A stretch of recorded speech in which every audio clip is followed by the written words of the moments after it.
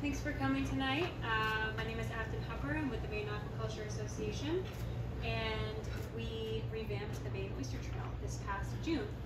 Uh, the original Maine Oyster Trail was a collaborative effort between MAA and Maine Sea Grant. It was launched back in 2017, and it was really um, an educational resource that lived within the Sea Grant website. It was a list of all the farms in the state of Maine, uh, the ones that offered tours, places where you could buy Maine oysters. Um, and we thought that original model was great, but we're seeing all this excitement and new um, business ventures popping up during the pandemic last summer, like farm tours and tumbling demonstrations and direct sales, um, growers who were trying to essentially build a new market, uh, a local market, when restaurants shut down and a huge portion of their sales were lost overnight.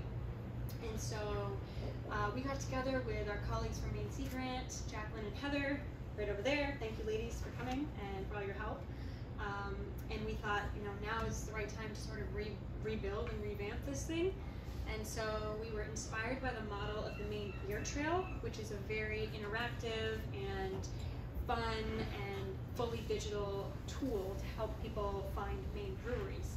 Um, were attracted to the idea that you could check in at breweries and earn rewards for your visit.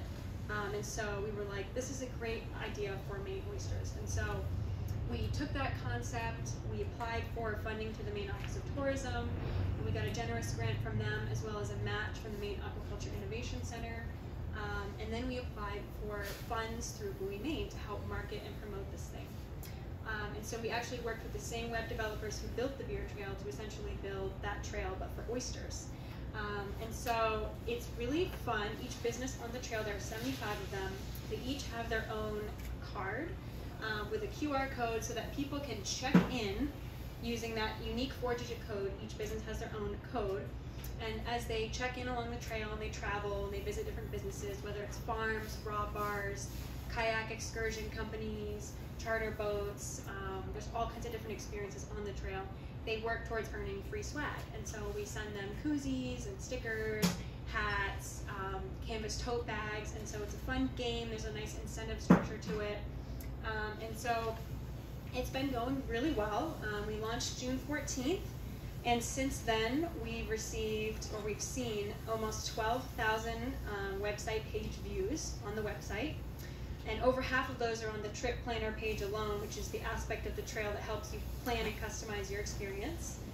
Um, we've received almost 600 individual newsletter signups just through the website.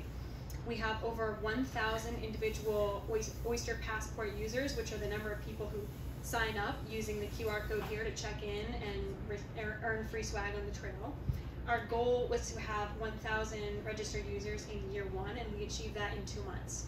So, as we've seen, our lesson learned is that demand is really strong, um, especially because last year was such a bad tourism year for Maine and people missed out on their trips. And so this year we saw demand is nearly bottomless. Um, in fact, a lot of the growers were a little overwhelmed in the beginning because they're getting inquiries about farm tours and that can be a lot, um, especially if you're not quite ready for it. And so I would say our biggest lesson learned is that demand is really strong and we need to make sure that everyone on the trail, all the businesses and all the people going on the trail know what, what it's about, um, know what to expect when they go out on a farm tour, and that the growers have the resources they need to safely and um, properly take people out on a tour, um, and so there's a good amount of support and education that needs to be done as well for that.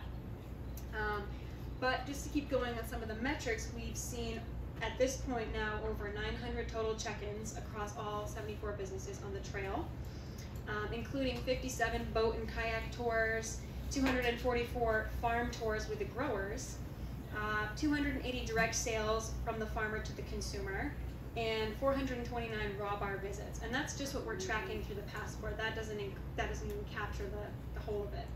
Um, we've sent prizes to visitors from 13 different states, including Arizona, Connecticut, Florida, Illinois, Louisiana, Massachusetts, Minnesota, New York, New Hampshire, Ohio, Pennsylvania, Maine, and Maryland.